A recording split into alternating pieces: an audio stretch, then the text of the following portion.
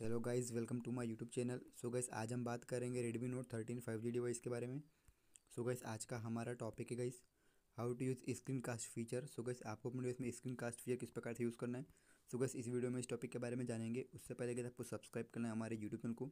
इन gas bell icon को भी all पे सेट कर देना है। सो गाइस यहाँ पर आपको अपने डिवाइस में सेटिंग्स का ऑप्शन मिलता है, आपको उस पर क्लिक करना है। सेटिंग्स के ऑप्शन पर क्लिक करने के बाद आपको नीचे स्क्रॉल करना है।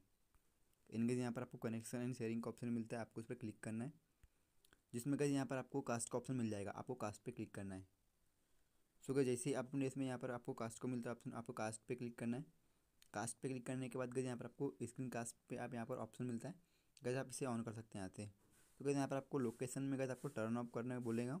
लोकेशन वाईफाई यहाँ से इसे टर्न ऑन कर लेना है। टर्न ऑन करेंगे तो आपको इसमें screen cast feature guys enable हो जाता है। इनके इनेबल होने से गैस आप अपने इसमें एक्सटर्नल मॉनिटर पे अपने डिवाइस को यूज़ कर सकते हैं। इनके अपनी मोबाइल स्क्रीन को बड़ी एलईडी या फिर मॉनिटर पे यूज़ कर सकते हैं।